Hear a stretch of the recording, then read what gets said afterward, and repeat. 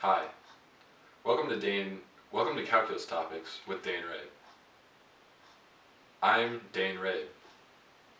Inventor, investor, prize-winning journalist, scholar, and math genius. Today we're going to be learning about integrals. Let's go.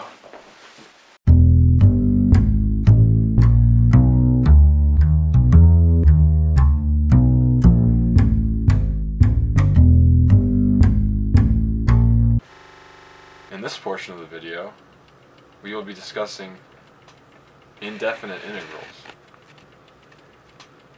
We'll start off with some basic indefinite integrals. The first integral we'll look at is x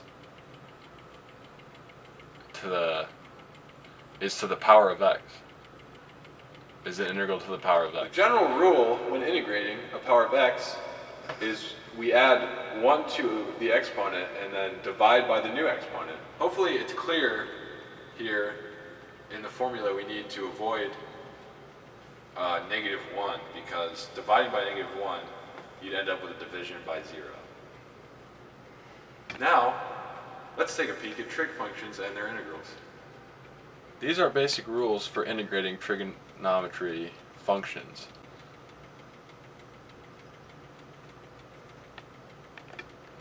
These rules simply require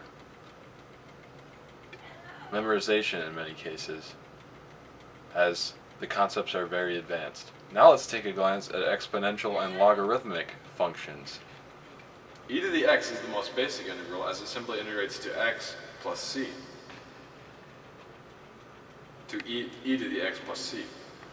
a to the x times dx integrates to x over ln of a plus c.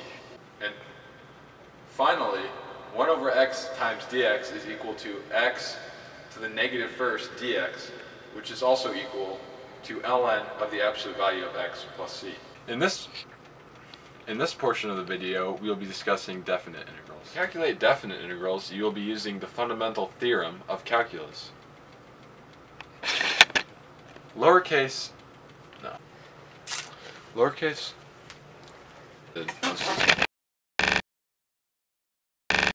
To calculate definite integrals, you will use the fundamental theorem of calculus. Lowercase f of x is a continuous function on a to b, and uppercase f of x is the antiderivative of lowercase f of x. This is an example of the fundamental theorem in action. x squared plus 1 dx from 0 to 2. Both of these are antiderivatives of the integral. Using the fundamental theorem, as pictured here, shows the answer or the solution to the definite integral to be 14 thirds.